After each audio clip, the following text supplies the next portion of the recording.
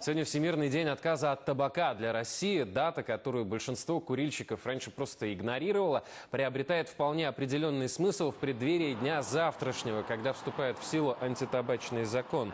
То самое вечно откладываемое завтра вполне возможно наступит для тех, кто всерьез собирается бросить.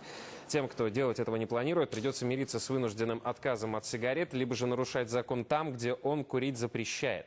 Впрочем, расплата на некоторое время откладывается. Например, начальник столичного ГУВД Якунин заявил, что сейчас полиция будет ограничиваться устными предупреждениями, пока в Кодексе об административных правонарушениях не прописано, кого, за что и насколько именно штрафовать. Госдума должна определиться с этим в ближайшие 2-3 недели.